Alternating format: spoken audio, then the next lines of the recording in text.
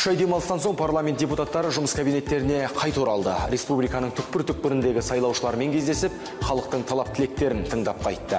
Апта басында қазақстан республикасының президенті парламенттің алтыншы шақырылымының үшінші сессиясын ашық деп жариялаған еді. Армысыздар эфирде заң жобасы бағдарламасы сіздермен бірге бекзат жүсіп. Қазіргі қазақстанның бастан өткеріп жатқан рухани және экономикалық жаңғыруы кезінде депутаттар да аянып қалмай жаңа маусымда жаңа леппен жұмысқа кірісуі керек. Жұмыс көп. Ұсынылған әрбір жобаны заңмен қамтамасыз етіп қалғандарын заман талаптарына сай өзгерту керек деді президент. Алдағы мақсаттарды айқындап үкімет пен парламентке бірнеше міндеттерді жүктеген елбасы міндетті әлеуметтік медициналық сақтандыру жүйесіне тоқталды. Әлемдік тәжірибеде тиімділігі мен өміршеңдігін көрсеткен бұл жүйе бізге керек екендігінде дау жоқ. Алайда жобаны әзірлеу кезінде бір қатар кемшіліктер кеткен. Атап айтқанда елімізде 2 миллион 700 мың адам өзін өзі жұмыспен қамтушылар санатында. бұлар бір сөзбен айтқанда не жұмыссыздар қатарына жатпайды не жұмысшылар ретінде тіркеліп мемлекетке салық төлемейді Слово «самозанятые» – это самый прямой уход от налогов. Вот что такое самозанятые. Никак в правительстве, я уже поручил последний раз, разобраться с каждым, кто такой самозанятый бәріміз ауылдардан келдік қой мысалы да ауылдарда сол самозанят ол не үйі бар жайы бар огороды бар егін егеді малын өсіреді апарып базарға сатады ақшасын алады ол самозанятый он должен платить от доходов. Государство ему позволило заниматься хозяйственной деятельностью. То есть, если с каждым разобраться, это что, безработные? А для безработных мы с вами приняли решение. Если тебе нет работы, мы тебе микрокредит даем в деревне, в селе. Возьми, купи две коровы, дой и продавай. А кто этим не хочет заниматься, говорим, поехали в город, мы тебя обучим бесплатно и там устроим на работу. Какие у нас должны быть самозаняты? Скажите, пожалуйста. президент үкіметке мәселені қарап шешімін табуға тапсырма берді әсіресе халық арасында түсіндірме жұмыстарын жүргізіп жүйенің өзге емес азаматтардың өздеріне қажеттігін ұғындыру керек ал оған дейін үзіліс жасау керектігін ескертті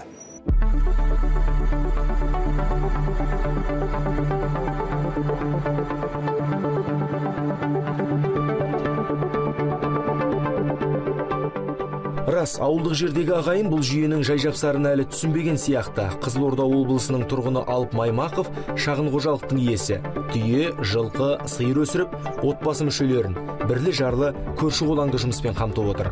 Ара тұра мемлекеттен жеңілдетілген несие секілді көмек қолдау алып тұрамыз дейді шаруа. Медициналық сақтандыру туралы естігенін алайда толық түсінбегенін айтады. Табысы шаш етектен болмаса да денсаулық үшін азғантай салықты төлеуге қарсылығымыз жоқ дейді ол. Білмейміз әлі ол бағдарламамен жұмыс істеген жоқпыз. Тиімді тиімсіз екенін енді үкімет түсіндіріп жатыр халыққа. Соны түсінгеннен кейін сол сосын белгілі болатын шығар енді түсінетініміз пайдасы бар екенін жоқ екенін бірақ әйтеуір біз енді ауылдамыз қалада емеспіз. Қаланың ар жағында қаладан бір жүз шақырым жерде жаңағы шаруа қожалығымыз бар сол жақта жүреміз. Біреуін түсінсек біреуін түсінбей қаламыз жаңағы ненің. Ол жақта телевизор жаңағы баспасөз онша жоқ. Алайда көпшіліктің арасында жобаны түсінгенімен сақтандыруға салықты төлегісі келмейтіндер де жетерлік. Бұл кеңестік кезеңнен қалған маған бәрін мемлекет беру керек деген масылдық пиғыл дейді мамандар.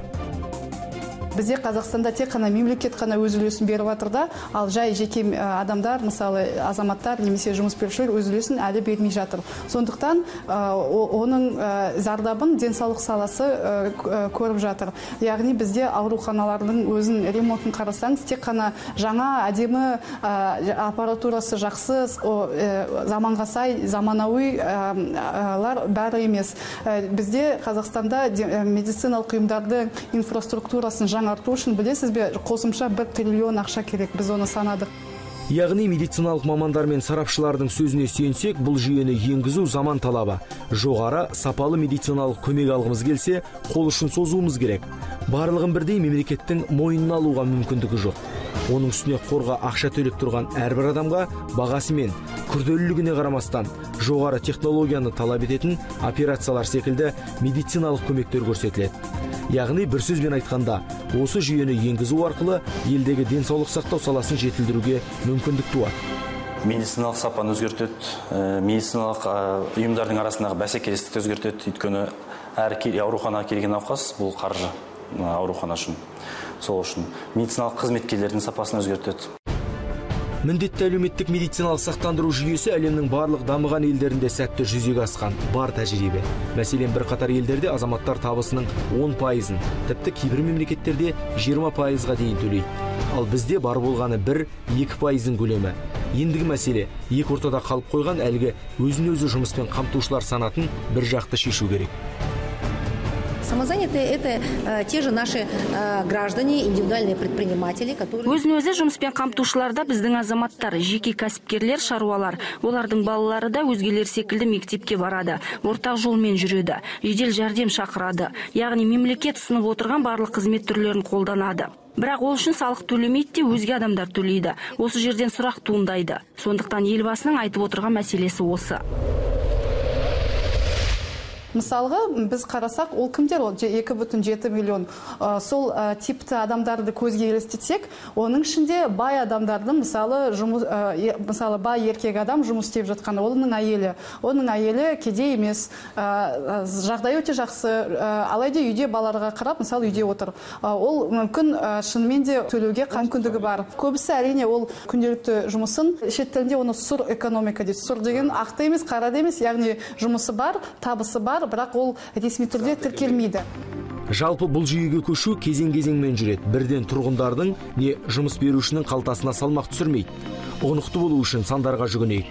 2017 жылдың бірінші шілдесінен бастап жұмыс берушілер әрбір қызметкерінің жалақысынан бір пайыз қорға аударып отырады. Ал 2018 жылдың бірінші қаңтарынан бастап бір жарым пайыз 2020 жылдан бастап 2 пайыз 2022 жылдан бастап 3 пайыз қорға аудару керек. Жалдамалы тұлғалар яғни қызметкерлер 2019 жылдан бастап қорға бір пайыз аудара бастайды. Ал 2020 жылдан бастап бұл сома екі пайызға артады біз өзіміз жұмыс істейтін азаматтар сақтандыру қорына төлеуді төлесек және мысалы әлеуметтік жағдайлар қиын азаматтарға пенсионерлерге балаларға мемлекет төлесе мынау екі де жеті миллион халық қалып деп тұр. Ол бір жағынан да дұрыс емес. Оның себебі көп жылдан көп жылдың ішінде осы тәуелсіз қалғаннан кейін бұл мәселе шешілмеген. Сонымен олар да зейнетақыларын төлемейді басқа салықтарды төлемейді. Әрине бірақ тегін медициналық қызметтермен қазіргі күнде пайдаланып жүр біріншіден біз дұрыстап зерттеуіміз керек. Ол бүкіл осы азаматтардың тізімін бекітіп қандай категорияға жатады? Мысалы иә жұмыс істеп жүрсе бірақ салық төлемей жүрсе азаматтар олармен жұмыс істеп төл өткізуіміз керек. Мысалы жеке меншік кәсіпкерге аударып ал жұмыссыз жүрген азаматтарға әрине осы мемлекет тарапынан арнайы көмек беріліп жатыр. Жылдан жыл тағы да сол мәселелерді шараларды ары қарай жалғастырамыз. Елдегі медицина саласын одан әрі дамытып жалпыға бірдей қолжетімді ету үшін жаңа жүйенің жүзеге асуы ауадай қажет. Мәселен біздің елде ішкі жалпы өнімнен түскен қаржының үш пайыз ғана денсаулық сақтау саласына жұмсалса өзге мемлекеттерде бұл пайыз оннан асып кетеді. Яғни бір сөзбен айтқанда денсаулық сақтау саласына және азаматтардың денсаулығына бәріміз бірдей жауаптымыз. Міндетті әлеуметтік сақтандыру жүйесіне қатысты бірқатар сауалдарға жауап алу үшін осы жобаның басы қасында жүрген кәсіби дәрігер мәжіліс депутаты зәуреш аманжоловаға барған едік.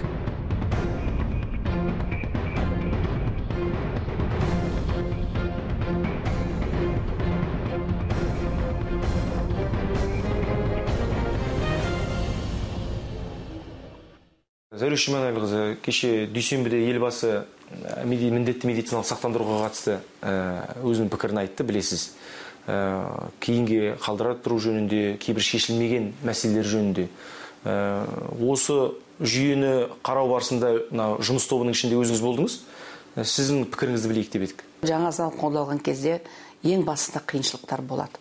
Оны қазір біз медицина саласының қызметкерлерімен кездескен кезде халықпен кездескен кезде өне бойы айтып отырамыз. Жаңа жүйе өне бойы өте қиынырақ өтеді. Кішкене уақыт керек болады. Түсіністік. Керек болады. Оны ең бірінші медицина саласында істейтін адамдар. Ана ауру келе салысымен сен, сен қай жүйеге жатасың? деп ауруды тастай салып сен оның жүйесін анықтауға кету керек емес. Ең бірінші медицина саласында істейтін адамның іс тірлігі қалай? Сол адамға көмек көрсету ма? Сол көмегін көрсете беру керек. Ал қалған қағаз құжаттардың бәрін ол кейін өзі біліп алу керек. Ә, мәліметтерге қарағанда қазірдің өзінде 6 миллиардтан ақша қаражат жұмыс берушілерден жиналып үлгеріпті. Енді бұдан былай сол қаражаттың тағдыры қалай болады? Мемлекет тарапынан қаржы азайған жоқ. Мемлекет қаржыны қалай бөліп жатыр солай бөліп жатыр ел оны түсіну керек.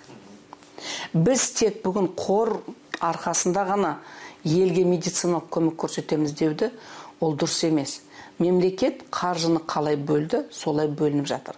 Біз медициналық сақтандыру жүйесін жоғарғы деңгейдегі мысалға дүние жүзіндегі деңгейдегі үлкен ірі операциялар я диагностика жасау үшін біз оны жасап жатырмыз. Олар өте қымбат. Өте қымбат. Мемлекет оны көтеру өз мойнында көтеру қымбат. Бірақ осы күнге дейін ол көтеріліп келе көтеріп келе жатыр. Ал енді қордағы ақша мен мысалға айтатынмын жылдағы бөлінетін мемлекеттік мысалға тоғыз жүз қырық жеті миллиард теңге бөлінді ма биыл да тоғыз жүз қырық жеті миллиард теңге ол бөлінді мемлекет тарапынан. Қазіргі таңда біз бірінші шілдеден бастап бірінші тамыз арасында мысалға алты бүтін оннан алты миллиард қаржы жинады фонд.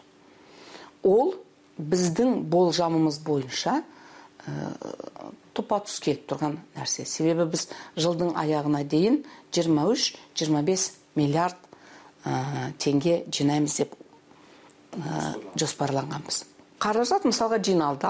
Ол қазір банкта. Ұлттық банктің қорында ол ақша. Егер қазір алдыңғы қатарда бұл тағы да шегерілетін болса бұл қаражат жинала береді. Бұл қаражат жатады. Бұл сонда болады. Ешқайда иә бұл қаражат мемлекеттің бақылауында. Бұл ешқайда жұмсалмайтын қаражат.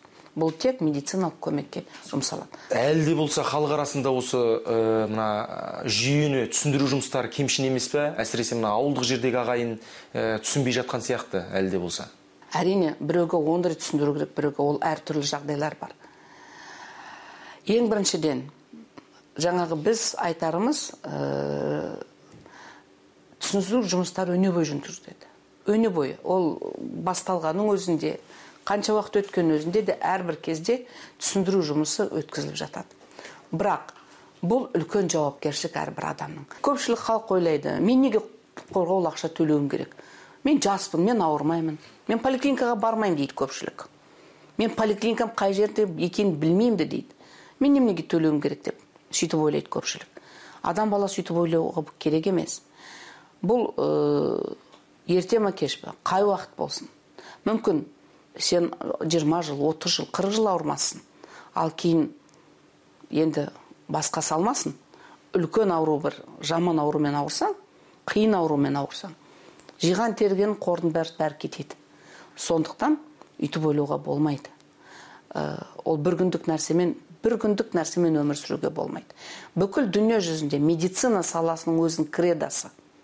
Өне бойы кедей байдың арқасында емделеді. Ал бір адам ауру болып туылды. Ол енді оның кінәсі жоқ қой. Ол енді күнделікті барып емделу керек. Оның кінәсі жоқ қой. Ал енді ал мен ауырмадым деп басқа біреу мен неге төлеу керек деп ол ойламау керек. сексенге келгенде ауыруы мүмкін. Бүкіл айтып отырмын ғой саған да сонда өте көп қаржыны мемлекет. жаңа қор төлеп сенің денсаулығыңды жақсартады. Міне соны халық түсіну керек. Салаға жауапты мамандар мен сарапшылардың билік өкілдерінің пікірлерін тыңдай келе ойға түйгеніміз денсаулық сақтау саласына жаңа жүйе керек. Жолда кездесетін кемшілік кедергілер әлемдік тәжірибені зерттей отырып шешіледі. Әлі де болса мемлекет тұрғындарға медициналық көмек көрсетуден бас тартпайды әсіресе әлеуметтік жағынан аз қамтылған көмекті қажет ететін адамдарға бұрынғыша тегін медициналық қызмет көрсетіле береді. Тек қаражатты төлеуге шамасы жететін азаматтар ғана денсаулығын сақтандыруы керек. Заң жобасы бағдарламасының келесі санында жүздескенше аман сау болыңыздар.